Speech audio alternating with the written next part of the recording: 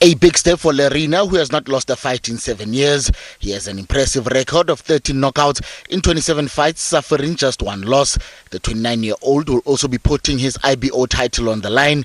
It's a moment he has been waiting for, which offers him an opportunity to make history by becoming the first South African boxer to win the WBA cruiserweight title in 37 years. Everybody wants to be a champion. Everybody wants to be something in boxing, but there's only the selected few who get an opportunity and who are able to do it and it comes down to skill set and the mind.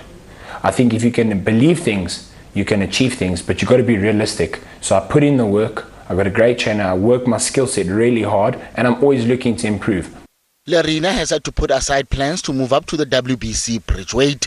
The WBA cruiserweight offers him more as he strives to be acknowledged amongst the best fighters the country has produced. South Africa's got world-class fighters currently, and, and the fighters from yesteryear and the past are superb. You've got Baby Jake Matlala, Sugar Boy Malinga, Vuyani Bungu, Dingaan Thobela, just to name a few. These guys have paved the way for young fighters like myself, and now we've got to go on and do great things like they did. Lerena's opponent is not a closed book. He has only been defeated once and boasts 24 knockout victories.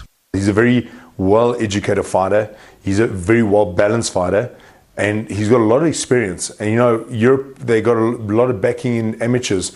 You know, he's quite a hero there in his country. Lerena has on five occasions been to 12 rounds, while Merhy has received the distance once. Although the Belgian has a better knockout record, Lerena could have the advantage should the fight go on to late rounds.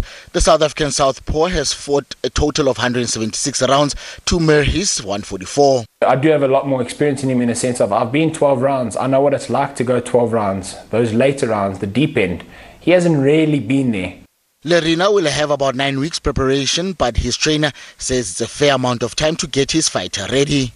It's exactly what we've been done, done in the past. So we just got to reset, re, reprogram everything. And when the when the bell rings and we're over there, obviously we've got a lot against us. We've got crowd against us. We've got a lot of things to contend to. But that's what makes a champion.